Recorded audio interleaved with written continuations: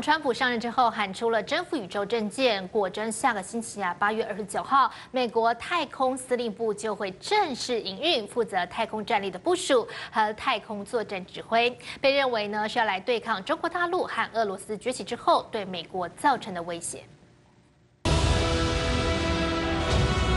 科幻电影中，星舰在外太空争霸较劲，看谁能够征服宇宙。而在美国总统川普一声令下。We are going to have the Air Force and we are going to have the Space Force. 美国说要建太空军，成为美军第六个军种，预计将在二零二零年建立全军。而下星期就先正式成立太空司令部，负责美国宇宙军的作战指挥。The American people are ready for the next chapter in our nation's history in space. 坐在台上的就是美国太空司令部官员们。美国国防部表示，太空司令部是负责作战指挥，包括太空战力部署和指挥作战行动。America is leading in space once again. This president recognizes what the American people have known for more than a half a century.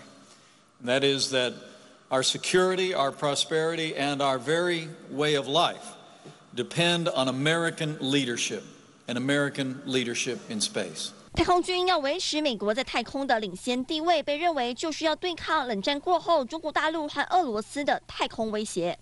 If you look at what they were saying 10 years ago was going to be done in space in the next 10 years by China, they're they're pretty much hitting those targets 因为中国急起直追，不但早发射人造卫星、太空实验室入轨，更成为世界第一个国家让无人探测器探测月球背面，严重威胁美国数十年太空霸主地位。如今，美国希望借成立太空司令部，把目标放在月球表面建立永久基地，并且率先登陆火星。